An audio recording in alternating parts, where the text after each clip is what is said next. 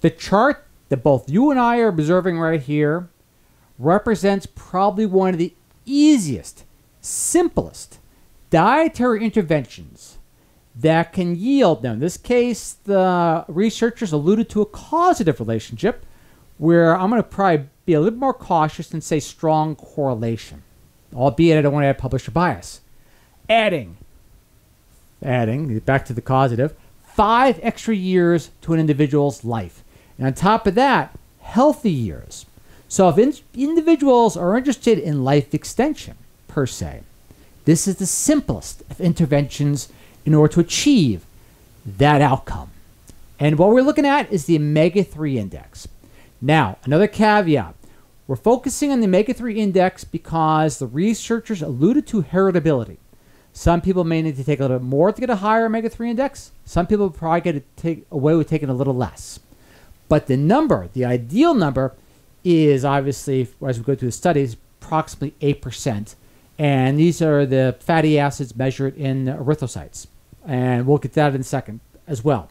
But look at the graph. Now, obviously, we're automatically be looking at, at that top thing, the top line, uh, which yields the highest increase in life expectancy. Now, look at the age range. We're starting at age 65. And so, but also, too, check this out. A person that has a high omega 3 index and is a smoker, life expectancy is pretty much correlated, I'm just saying correlation, with being just as long as an individual who's not a smoker that has a low omega 3 index. Or I should say, possibly not the best diet. Now, keep in mind, too, a smoker with a bad diet, well, that does not bode too well. So, to proceed as follow into the research, and we'll get a little more detail uh, into the full study that give you a little bit more uh, of a substance to bite into, per se. So, let's begin. A higher level of omega 3 acids in the blood increases. Again, they're using causative. I tend to still, still say strong correlation, although promising. Increases life expectancy by almost five years. A 1% increase. Now, keep in mind, we're not talking 1% dietary increase. We're talking a 1% increase in the omega 3 index in the blood, where the average tends to be about 5% for most individuals in, in the US. Where Japan, it's about 8%. But to proceed, a 1% increase in the substance of the blood is associated with a change in mortality risk similar to that of quitting smoking. Researchers have found that omega 3 levels in the blood, or erythrocytes, are very good mortality risk predictors. The study used data from long term study group, the Framingham Offspring Cohort, which has been monitoring residents of this Massachusetts town in the United States since 1971. Whoop, let me move this for a second. And concludes that having, quote, having higher levels of these acids in the blood as a result of regularly including oily fish in the diet increases life expectancy by almost five years. 4.7 if you want to be particular. In the final combined model, which is three different models, including the Framingham study, smoking and having, now, now keep in mind, the information that we're looking at right now, we're going into the full study. This way again, so it gives you something a little bit more tangible to bite into to basically reflect on how it may uh, impact or how you can make changes in your particular life or lifestyle. To proceed, in the final combined model bubble, we move, move forward. Being a current smoker at age 65 years is predicted to subtract approximately 4.7 years of life compared with not smoking.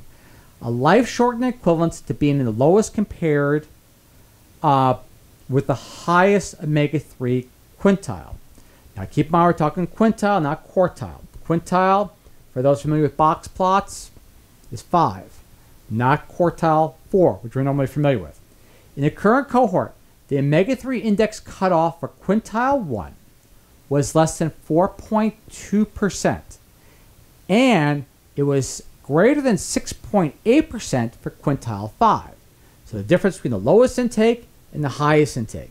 You see what I mean by that 1% change, which they alluded to in the very beginning of the article? So there's not a huge uh, gap between the two.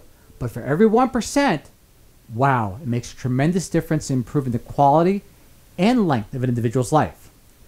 It is interesting to note that in Japan, where the mean average omega 3 index is greater than 8%, life expectancy is approximately five years longer than it is in the United States, where the mean average omega 3 is approximately 5%.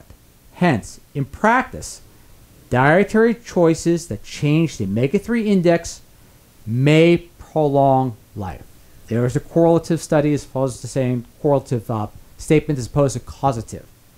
Now, a little further into the study, to give you a, a possible idea of where we stand here in the U.S.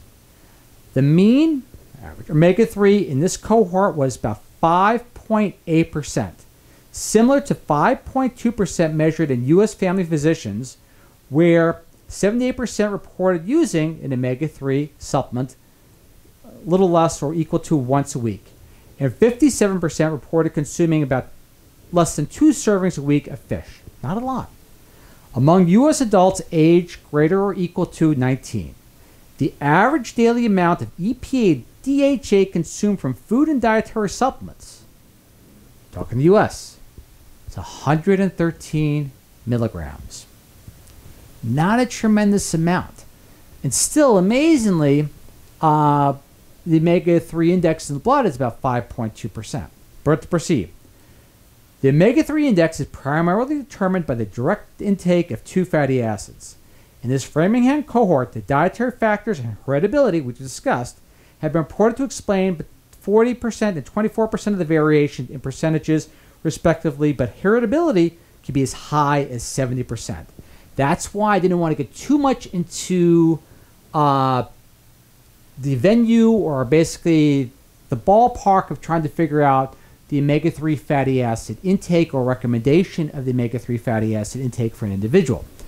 We're going to look at one of the older studies from 2004 to at least give you a benchmark which to work with. But once again, omega 3 index tests are fairly simple, inexpensive, and are readily available for any individual to test on their own. And if you get towards that 8% number, like for example in Japan, you're golden. But to proceed, Let's look at that study again from uh, uh, 2004. Here we go. The omega 3 index, a new risk factor for death from coronary heart disease. Now, amazingly, 2004 is 2021. So you're looking at just give you an idea how long it takes great information to basically uh, surface in the scientific community until it becomes a common recommendation. 2004, 2021, you get the idea. In a randomized secondary prevention trial, fish or fish oil have been demonstrated to reduce total and, and basically coronary heart disease mortality at intakes of about one gram a day. There's your benchmark. But to proceed, the omega 3 index was inversely associated with uh, basically coronary heart disease mortality. An omega 3 index of greater than or equal to 8%. Remember, we looked at, uh, they mentioned to, to the uh, the average omega 3 index in Japan being about that level. Again, to be confirmed, going way back to 2004. So that's interesting. Uh, with the greatest cardiac protection, whereas an index of less than or about equal to 4% was associated with the least, which is interesting because, again, it mirrors the same information from the Framingham study here as it does from this particular study here from 2004 to 2021. Interesting how things don't necessarily change a lot over the course of, of close to a couple of decades. Now, to conclude, these results may contribute to the personalization, i.e., omega 3 index test, simple, easy, cheap, of dietary recommendations for food intake based on the blood concentrations of the different types of fatty acids. Quoting, what we have found is not, to reiterate, not insignificant. It reinforces the idea that small changes in diet in the right direction can have a much more powerful effect than we think, and is never too late. Again, remember the study we're looking at? They were just gauging the years between 65 and older. And it is never too late or too early to make these changes. So the takeaway from the outcome, the strong correlation, is the easiest of all dietary interventions we're not talking exercise, behavioral changes, or anything. Simply, what we're talking about is having a nice omega 3 index in this case between 6 to 8%, can yield you tremendous lifelong benefit. Again, gratitude to the researchers. Wonderful once again. I am humbled for you watching and look forward to see you all once again next week. All links will be there on YouTube. Catch you in a bit. Bye.